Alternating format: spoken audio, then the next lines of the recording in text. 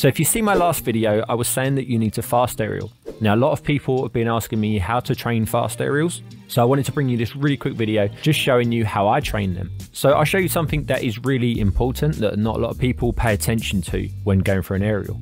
Now, if I just tap the jump button, if you look at my car in relation to this pad here, just watch how far my car goes past that, that pad. So if I tap jump, and now look if I hold jump, so if I hold jump, you can see the pad, look, it goes under my car. When you fast aerial, you want to be holding jump, then jumping again. You're not tapping jump like that.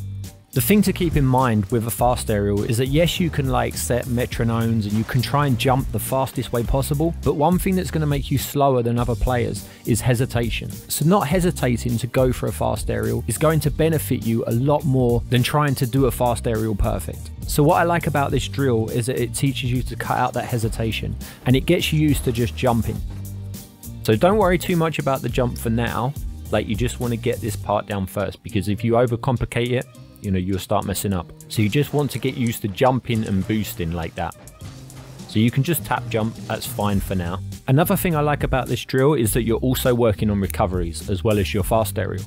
So what you want to do is you just want to be in free play and you just want to go around the field doing this. Fast aerial up to the ceiling and then recover off the ceiling.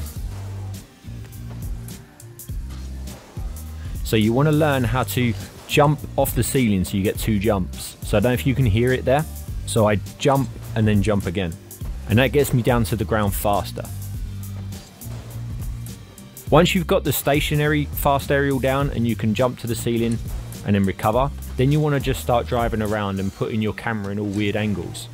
So you want to like be switching ball cam off and on and then you just want to be driving around making sure that your left stick is continuously moving. But that's why I'm going to leave this one. As always, if you have any questions, put them in the comments. If you found the video helpful, all I ask is you hit the like and subscribe button. But thanks for watching and until next time.